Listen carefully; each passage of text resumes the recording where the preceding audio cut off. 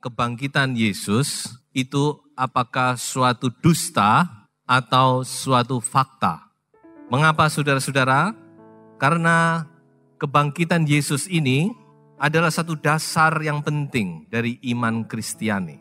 Di dalam 1 Korintus 15, Paulus berkata, kalau Yesus tidak dibangkitkan, sudah nggak ada ceritanya lagi.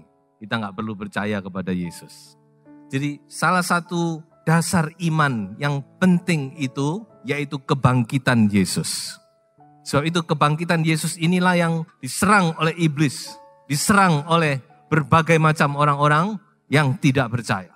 Nah itulah sebabnya kita mau melihat sebenarnya kebangkitan Yesus itu dusta atau fakta. Kebohongan, kepalsuan, atau satu kebenaran. Hanya dua pilihan, saudara. Kalau dusta kita nggak perlu percaya. Tetapi kalau itu fakta, mau tidak mau kita harus tunduk dan mengaku engkau adalah Tuhan di atas segala Tuhan. Haleluya. Mari kita baca dua ayat ini, Matius 28 ayat 11 sampai ayat yang ke-15. Ketika mereka di tengah jalan, datanglah beberapa orang dari penjaga itu ke kota dan memberitahukan segala yang terjadi itu kepada imam-imam kepala. Dan sesudah berunding dengan tua-tua, mereka mengambil keputusan lalu memberikan sejumlah besar uang kepada serdadu-serdadu itu dan berkata, kamu harus mengatakan bahwa murid-muridnya datang malam-malam dan mencurinya ketika kamu sedang tidur. Dan apabila hal ini kedengaran oleh wali negeri, kami akan berbicara dengan dia sehingga kamu tidak beroleh kesulitan apa-apa. Mereka menerima uang itu dan berbuat seperti yang dipesankan kepada mereka dan cerita ini tersiar di antara orang Yahudi sampai sekarang ini. Kita lanjut langsung dengan Lukas 24 ayat 10 dan ayat yang ke-11. Perempuan-perempuan itu ialah Maria dari Magdala dan Yohana dan Maria ibu Yakobus dan perempuan-perempuan lain juga yang bersama-sama dengan mereka memberitahukannya kepada rasul-rasul ayat 11 tetapi bagi mereka perkataan-perkataan itu seakan-akan omong kosong dan mereka tidak percaya kepada perempuan-perempuan itu. Saudara perhatikan, sekali lagi perhatikan di sini. Saya sudah bacakan dua bagian dari firman Tuhan ini saudara bisa melihat dengan jelas perbedaannya. Yang satu adalah dusta, tetapi dipercaya, dianggap benar, dipegang bahwa mayat Yesus dicuri oleh murid-muridnya, dan itu terus dipercaya oleh orang Yahudi sampai sekarang ini, saudara. Dusta tapi dianggap kebenaran. Yang satu, perhatikan saudara, benar tapi dianggap dusta. Sudah melihat jelas perbedaan ini? Yang satu adalah dusta, tapi dipercaya ini benar ini. Yang satu yang benar, berita yang benar disampaikan oleh wanita-wanita yang melihat sendiri tentang Yesus. Yang dilawat oleh Yesus. Wanita berkata, Yesus sudah bangkit. Omong kosong. You are joking. Nah saudara-saudara, inilah yang terjadi sekarang di dalam orang Yahudi. Makanya orang Yahudi itu tidak percaya kalau Yesus adalah Mesias. Sampai sekarang. Jadi mereka pegang ini dusta. Sampai sekarang mereka tetap tidak percaya Yesus bangkit. Kalau Yesus mati itu tidak bisa disangkal. Itu fakta sejarah.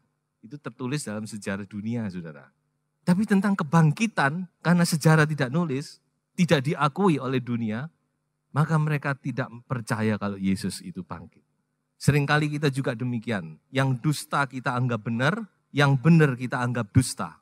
Yang dusta kita percaya, yang benar kita anggap omong kosong.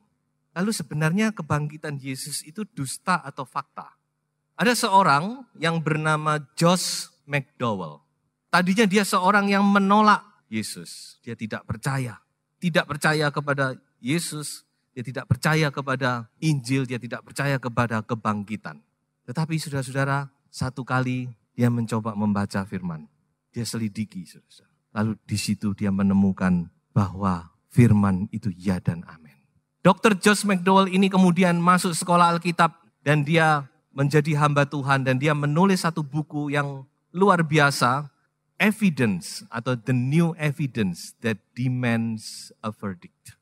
artinya itu bukti yang menuntut suatu keputusan.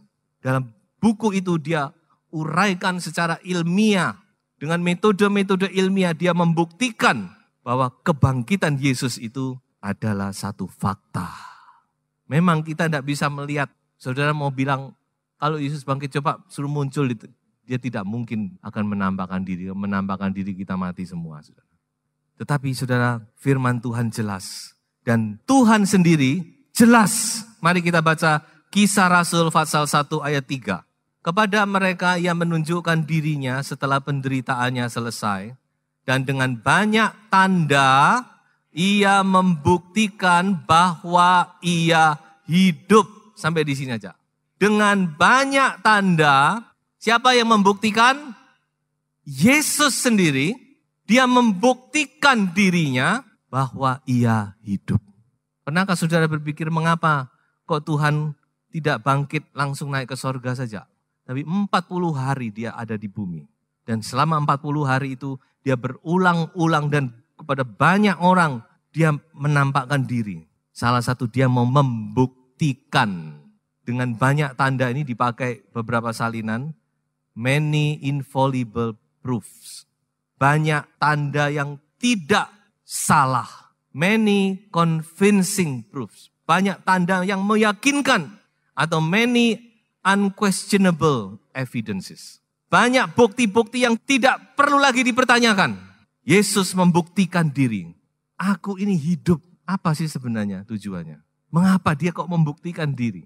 Supaya kita ini benar-benar yakin, saudara kita ini benar-benar yakin bahwa kebangkitan itu adalah satu fakta.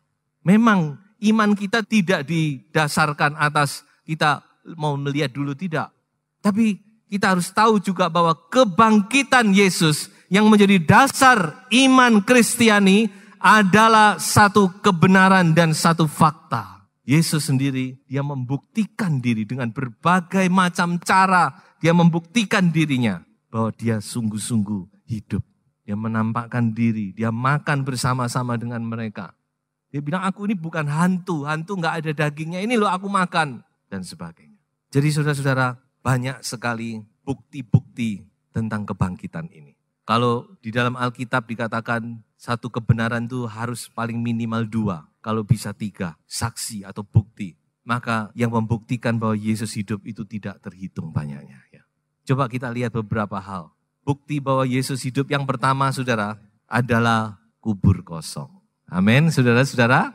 Kubur Yesus itu kosong. Kalau saudara ke sana, paling saudara lihat tuh di sini ada gereja yang memperingati tempat kuburnya Yesus. Tapi sebenarnya tidak ada sudah. Kubur kosong. Lalu kubur kosong ini bagaimana kok bisa kosong? Menurut cerita yang tersebar di kalangan orang Yahudi, mayatnya dicuri oleh murid-muridnya. Apakah mungkin? Coba kita berpikir secara logis. Ini ada beberapa pertanyaan yang perlu dijelaskan. Yang pertama, apa murid-murid berani mencuri, yang muncul di muka umum aja mereka nggak berani. Semua sembunyi. Yang kedua, apa mungkin prajurit tidak tahu kalau dicuri, saudara? Untuk mencuri kubur itu mereka harus menggeser batu yang bertonton beratnya. Belum lagi mayatnya Yesus itu begitu berat karena sudah dikasih rempah-rempah yang beratnya 50 kiloan. Jadi ini mayat ini beratnya setengah mati, saudara. Lalu mereka masih kober yang ngelempit, dibukai kain kapalnya dilempit. Jadi tidak masuk akal, bukan? Lalu dikatakan, ya ini yang tidak masuk akal lagi, saudara. Kalau kita berpikir secara logis, mereka berkata waktu kami tidur, murid-murid datang loh. Kok tahu uang tidur? Kemudian kalau memang benar hal itu kejadian yang sesungguhnya, prajurit itu pasti sudah dipotong kepalanya. Karena mereka sudah lalai. Jadi banyak hal-hal justru di sini kita melihat bahwa itu adalah satu kebohongan saudara. Bagaimana kita bisa membedakan? Salah satunya ya pakai common sense. Tuhan kasih kita akal kok untuk berpikir. Yang sederhana saja. Kalau sudah nggak masuk akal seperti ini, jelas toh pernyataan prajurit ini bohong. Jadi kubur kosong itu tidak bisa saudara. Mereka mau menjelaskan dengan cara apa? kubur kosong, lalu dicuri oleh murid-murid waktu malam, waktu kami tidur. Yang kedua, saudara-saudara, bukti kebangkitan. Ini baru beberapa ya. Yang kedua, kita bisa melihat tentang perubahan yang terjadi dalam diri murid-murid. Perubahan yang begitu drastis dalam waktu yang sangat singkat. Dari seorang yang pengecut menjadi seorang yang pemberani. Dari seorang yang sedih, tidak punya pengharapan, menjadi seorang yang bersemangat, penuh sukacita, tidak takut mati, saudara. Sampai orang-orang Yahudi, mahkamah agama geleng-geleng kepala, tidak bisa mengerti orang-orang ini kok berani, padahal mereka tidak berpendidikan. Lalu apa yang mereka katakan? Kami tidak mungkin menyangkal apa yang kami lihat dengan mata kepala sendiri. Mereka nyata, Yesus bangkit.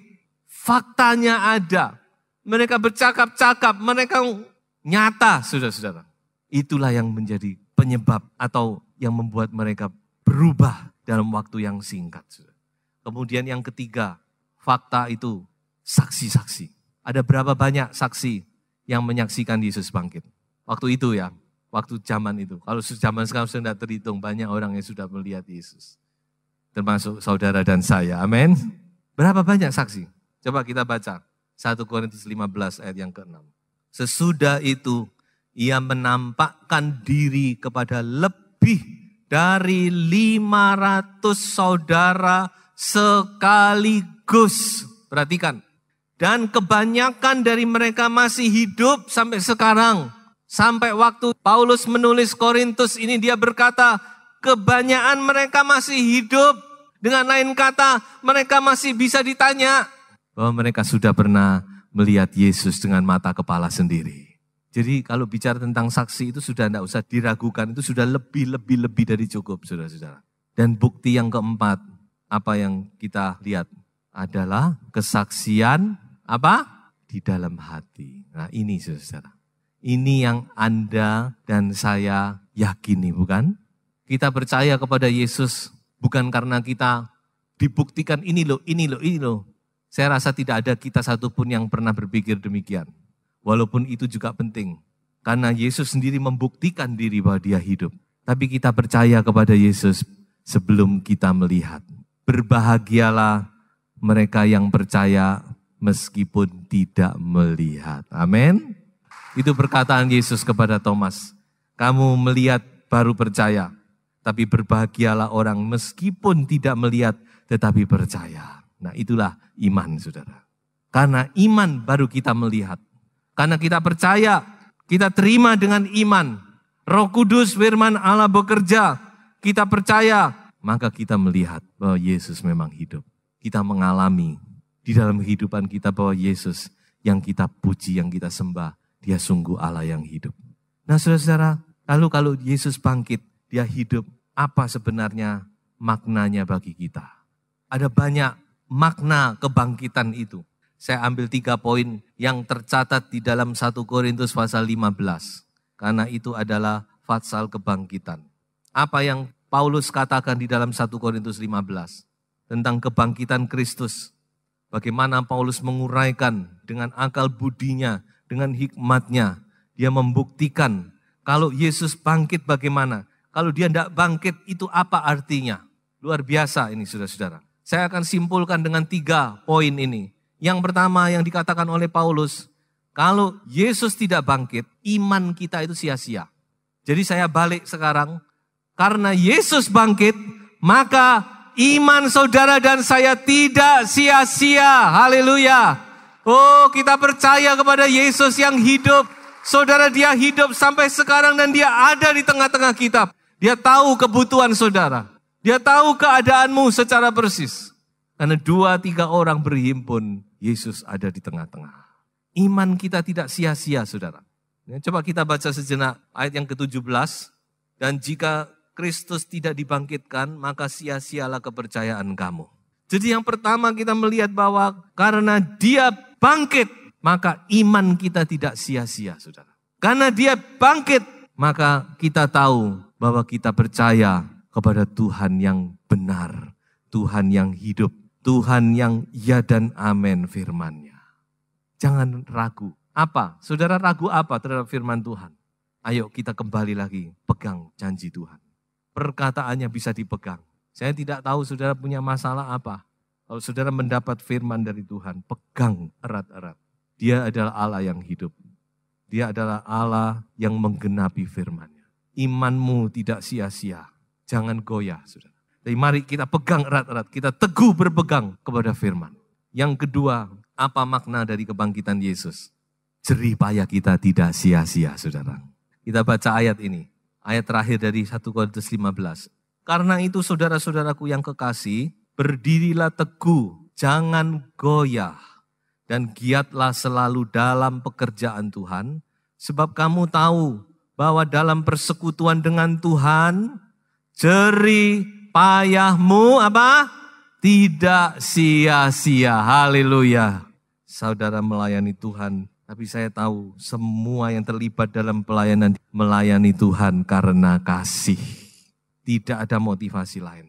Karena memang cinta, meskipun tidak mendapat apa-apa dan tidak mengharapkan apa-apa, itu yang luar biasa. Tapi saya mau beritahukan terutama kepada saudara-saudara yang melayani. Bahwa jerih payahmu tidak sia-sia. Yesus akan membalas dengan berlipat kali ganda. Tuhan tahu, saudara. Dikatakan oleh Amsal, di bumi ini engkau akan mendapat balasan. Di surga pasti. Tapi di bumi ini pun Tuhan akan membalas, memberkati kepada saudara. Sebab itu ayo, jangan goyah. Bangkitkan semangat saudara. Layani Tuhan dengan sungguh-sungguh. Kesempatan yang ada kita pakai dengan sungguh-sungguh. Itulah makna yang kedua dari kebangkitan Tuhan. Yang pertama tadi apa? Iman kita tidak sia-sia. Yang kedua apa? Jerih payah kita tidak sia-sia. Yang ketiga, apa makna kebangkitan? Ada hari esok. Masih di 1 Korintus 15 ayat 32. Kalau hanya berdasarkan pertimbangan-pertimbangan manusia saja aku telah berjuang melawan binatang buas di Efesus, apakah gunanya hal itu bagiku? Perhatikan kalimat berikutnya. Jika orang mati tidak dibangkitkan, maka marilah kita makan dan minum sebab besok kita mati.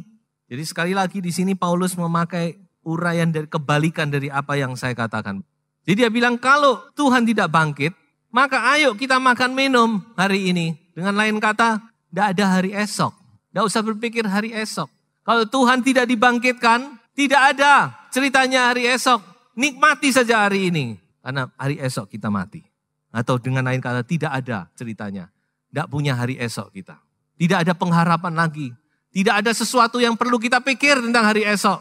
Tetapi kita tahu bahwa dia hidup. Sebab itu ada hari esok. Haleluya. Dan hari depan kita adalah hari yang penuh dengan pengharapan saudara. Firman Tuhan berkata bagi orang-orang benar ada masa depan. Saudara boleh berharap tomorrow will be better. Itu orang dunia. Orang dunia aja punya pengharapan besok akan jadi lebih baik. Walaupun besok itu kapan? Setelah besoknya dia berkata besok. Tapi bagi anak Tuhan, bagi kita sungguh-sungguh ada masa depan. Haleluya. Dan masa depan yang Tuhan siapkan untuk kita adalah masa depan yang penuh dengan pengharapan.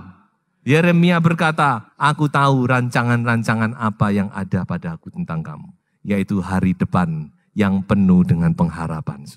Sebab itu saudara, percayalah, setia kepada Tuhan, jangan undur. Saya jamin di dalam nama Yesus Kristus, kesetiaan saudara tidak pernah sia-sia. Ada satu saat Tuhan akan balas berkati dengan berlipat kali ganda. Yang penting sudah tetap setia. Oh firman Tuhan itu ya dan amin. Tuhan katakan ada masa depan. Sungguh-sungguh ada masa depan. Karena dia hidup ada hari esok. Yang penting sudah setia dan berdoa. Selama ada doa, maka ada pengharapan, saudara-saudara. Selama doa masih dinaikkan, maka Allah akan bekerja. Saya akan akhiri dengan satu ayat. 1 Korintus 15 ayat 20. Tetapi yang benar ialah bahwa Kristus telah dibangkitkan dari antara orang mati sebagai yang sulung dari orang-orang yang telah meninggal. Oh, terima kasih Tuhan. Haleluya. Yesus hidup. Sebab itu ada hari esok. Dia tahu segala masalah saudara. Dia tahu pergumulan saudara. Mari kita datang kepadanya.